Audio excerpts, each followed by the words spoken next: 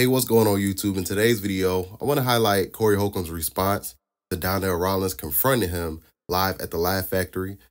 And just in case if you guys had missed when Donnell Rawlings had confronted Corey Holcomb, let's highlight that again right here. Here's the video. Mild my mild. You. You ain't. Nobody agree? So I'm wrong. Okay, I can be wrong. I'm talking about, but we at the, we at the, um, what is this called? This is the Laugh Factory. We was at the Savoy, you wouldn't be able to be up here that long. The niggas be like, get your whole ass down, nigga. I came up in the hardest rooms in Brooklyn. And And you ain't never, and you ain't never with them You rooms. just yelling. Because I don't have a mic. I can talk to you straight up. You want to talk about it? You saying I'm mild. You saying I ain't come through the streets or the gutters is straight bull. And if you want to ask somebody, ask the mother that you know what I do. Ask them. Okay, all right. Listen, listen. This be fair. Fair That's conversation. Ashley Larry, way to No, no, no, no, no, no, no. Let's be fair. Let's be fair and real. You say you keep it 100. Know how I get down. How? 32. I rip. You rip lights? I rip. You, you, ask any ever see me bomb. Anybody. And you ask anybody that don't know me, I keep it gangster. I don't, I don't say you No, you trying to say I'm a bum. I ain't no bum. No, I didn't say And that you saw, that saw. Your comedy is mild. It's mild. You know what? You know what? You know what you're doing now? You're a provocateur. You know how to incite people. Ain't nothing mild about my. People look at you. Ain't nothing- If you was at the mall, they'll put you out with your hot dog in your And hand. And guess what? And guess what? And guess what? You can say what you want to say. You can say what you want to say. You calling me a mild comic is totally off. So you a strong guy. I'm a beast. I'm a beast. I'm a beast. That's right. Okay, so that's Donnell Rawlings confronting Corey Holcomb live at the Laugh Factory. Corey Holcomb had did his podcast show tonight, and I would like to highlight a little bit of what Corey Holcomb had to say. This is not the full response. I will have Corey Holcomb's 5150 podcast linked down below, so you guys can go over there and check out the full response. I'll have the timestamp and everything for you guys as well. So with that being said, let me highlight what Corey Holcomb had to say tonight in response to Donnell Rawlings confronting him live at the Laugh Factory. Here's a video. Before I highlight the clip, guys, be sure to give this video a thumbs up. And don't forget to hit that subscribe button as well if you're new to the channel. I really do appreciate that. Let's check out the Corey Holcomb clip right here. So I'm up here at this Laugh Factory, Craig. Yeah. So I took a chance. I went inside. And naturally, they asked me to go up whenever I pop in. Everybody be so shocked. Damn, Corey came in. Like me, they, they be scared to let me go up in the middle of them shows because after I get off, then y'all can't pull off what y'all trying to pull off. You know this, but that hurt the whole feelings. Hmm. So, long story short, whole went up there, did his time, plus stayed on longer. Let me tell all you, all you mild ass comedians, it don't matter how long you stay on. Soon as you get off, they finna see another level of comedy when I go up. The whole ass, I didn't even know the was in there. I thought I thought he left because he acted like he was leaving out. Yeah. The security guard at the front told me after all of the bullshit happened, that whole act like he was leaving, but he was like, nah, f- that. I'm gonna watch this. So he had some animosity with me. Right.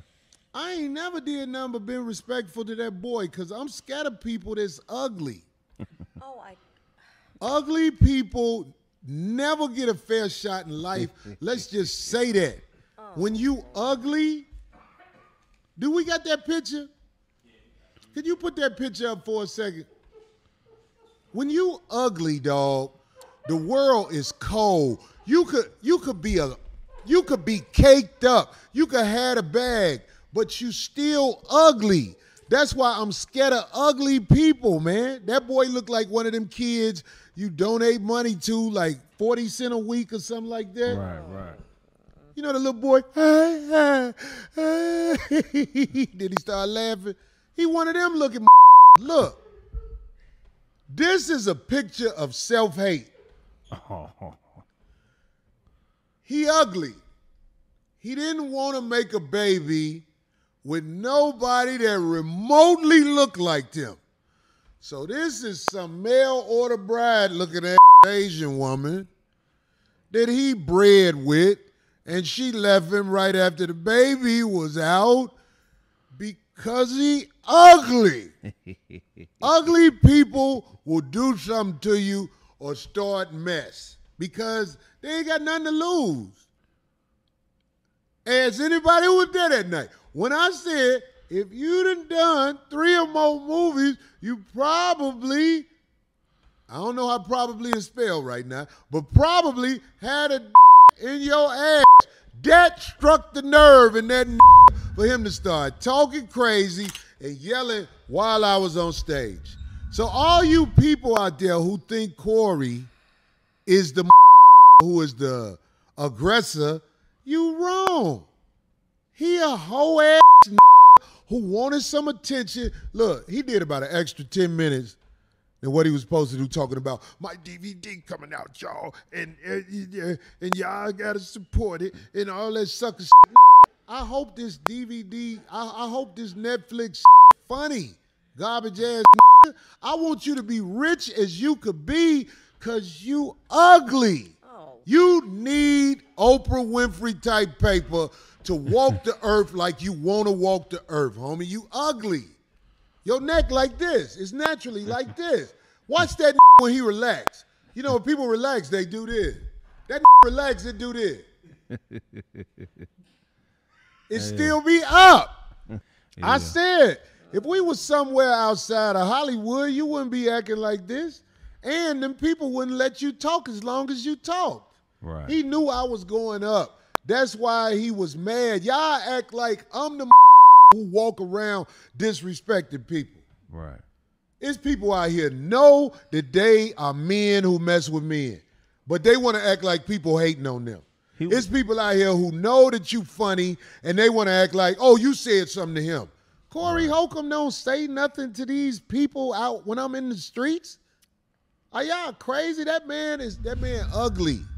That's what all that stem from. He ugly. Of course not talented, like I said. He mild as a comedian. Yeah. He the type of you be like, okay, on tours he always opening up. Okay, so that's what Corey Holcomb had to say about it, and I have to agree with Corey Holcomb as far as him saying that we don't see Corey Holcomb doing that to other comedians outside of his podcast. You know, Corey Holcomb has every right to say what he has to say on his podcast, but you don't see him confronting comedians live messing up their sets, messing up their shows, heckling them, or whatever, right? So yeah, man, 2024 is just the new thing with comedians now, man. These comedians is going crazy right now, thanks to Katt Williams' explosive interview with Shannon Sharpe, man, on Club Shay Shay. That's it for today's video. If you made this far in the video, don't forget to hit that like button if you made this far in the video. Don't forget to subscribe up as well. Leave a comment down below. I would love to hear y'all thoughts about today's video. Catch you guys on the next video, and we out, guys. Peace.